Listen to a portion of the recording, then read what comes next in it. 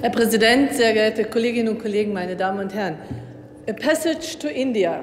Damit war ursprünglich die Schiffsroute gemeint, mit der im 15. Jahrhundert Vasco di Gama aufgebrochen ist. Heute ist dies der anschauliche Name eines DAD-Förderprogramms.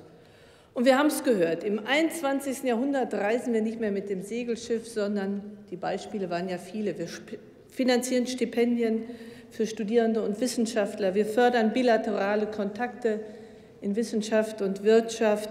Wir fördern das Deutsche Wissenschaftshaus und engagieren uns in der Berufsbildung. Warum sind internationale Kooperationen gerade in Bildung, Wissenschaft und Forschung so wichtig? Und gerade und besonders mit aufsteigenden Wissenschaftsnationen wie Indien. Am Ende der Debatte will ich versuchen, das etwas grundsätzlicher zu beantworten oder zusammenzufassen. Drei Gedanken. Erstens, Kollege Schulz hat es gerade schon als Binsenweisheit angekündigt, aber man kann es nicht genug und häufig genug wiederholen. Wissenschaft lebt vom Austausch verschiedener Denkweisen und neuer Ideen. Wissenschaftlicher Fortschritt und echte Spitzenforschung sind überhaupt nur möglich, wenn sie international aufgestellt sind. Und nur wer sich mit Neugier auf die Reise über nationale Grenzen hinaus begibt, gelangt zu Spitzenergebnissen. Mit zunehmender Globalisierung findet Wissenschaft aber auch in einer zunehmenden Dualität statt.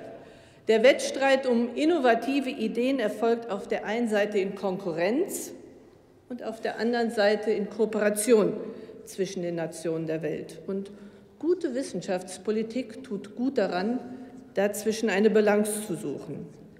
Und so wollen wir unseren Wissenschaftsstandort hier bei uns stärken und müssen gerade deswegen immer nach neuen Partnern für internationale Zusammenarbeit suchen. Ein zweiter Gedanke. Internationaler Austausch ist so wichtig, weil er nicht nur zu akademischen Qualifikationen, sondern zur Persönlichkeitsbildung insgesamt beiträgt. Wir wissen, dass Studierende nach Auslandsaufenthalten offener sind für weitere neue Erfahrungen. Altruismus, Vertrauen und Entgegenkommen sind bei ihnen stärker ausgeprägt. Sie haben in dieser Zeit nicht nur länderspezifische Kompetenzen erworben, sondern sind junge Menschen, die gelernt haben, mit Gegensätzen umzugehen. Gegensätze, die einem begegnen, wenn Kulturen, Traditionen, Werte in einer globalisierten Welt aufeinandertreffen. Oder man kann auch sagen, es sind junge Menschen, die Differenzerfahrungen gemacht haben. Das heißt, die ihre eigene Herkunft auch von einer Außenperspektive betrachtet haben, ihre eigenen Sichtweisen in Frage stellen lassen und den Dialog mit anderen dann hoffentlich respektvoller führen können. An Bord unseres Schiffes heute brauchen wir mehr denn je eine solche Mannschaft, die in einem globalen Horizont denken und handeln kann.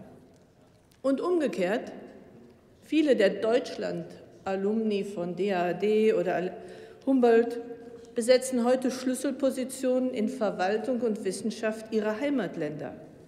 Und das ist natürlich auch ein gutes Potenzial für tragfähige Zusammenarbeit.